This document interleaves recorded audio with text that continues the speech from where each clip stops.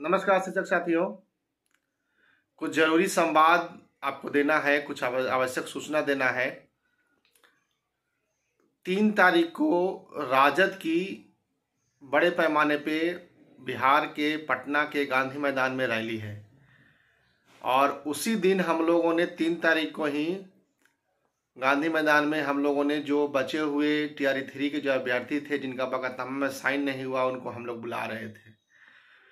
तो क्योंकि तीन तारीख को पूरा बिहार जाम रहेगा, सभी जगह ट्रैफ़िक काफरा तफरी रहेगा, आपको आने में परेशानी होगी, जाने में परेशानी होगी, इसलिए हम लोगों ने तय किया है कि तीन तारीख का जो बैठक था बकतनामा पर साइन कराने का जो प्रोसीजर था, उसको कैंसिल किया जाता है।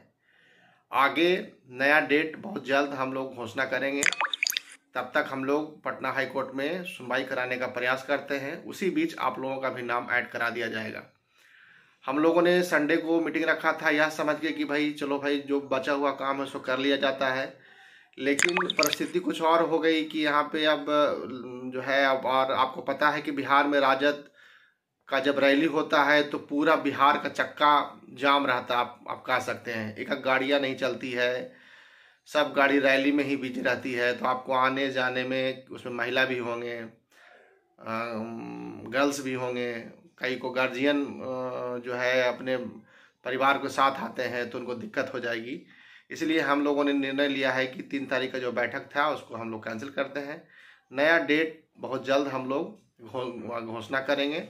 इसी बीच हम लोग सुनवाई कराने का भी प्रयास करेंगे पटना हाई कोर्ट में। विशेष और कोई संवाद होगा तो आपको दिया जाएगा। विशेष यही है कि तीन तारीख को जो हम लोग गांधी मैदान में टीआर थ्री के लिए बचे पटिशनर का जो हम लोगों ने मीटिंग रखा था, उसको कैंसिल किया जाता है। बहुत बहुत धन्यवाद।